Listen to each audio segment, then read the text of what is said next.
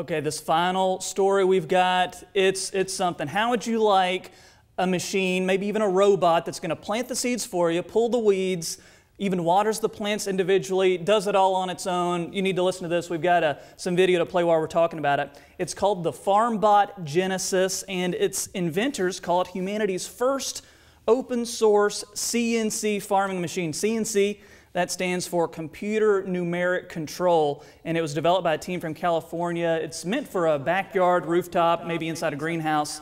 And uh, if you've ever uh, played the game Farmville, the interface, check it out, looks a lot like Farmville. You just drag and drop your crops wherever you want it.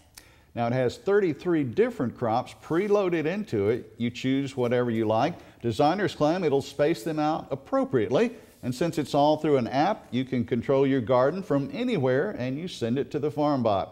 It's also monitoring real-time weather to manage that garden. I guess you could kind of say it dabbles in meteorology then, doesn't it? But what, what's uh, pretty interesting about this, it's an open source project, so that means the engineers who created FarmBot, they've released the code for the software for free online. So if you have an understanding about coding and how to build things like that, you can actually build one yourself or tweak the design if uh, you want to do that too.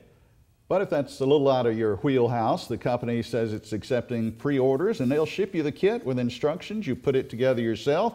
Now, right now, it's about three grand, but they're hoping, they say, to get it closer to $1,000 in the future. So we've got more info about FarmBot on our Facebook page. So comment, let us know what you, what you think about it, maybe if you would ever use it for yourself. So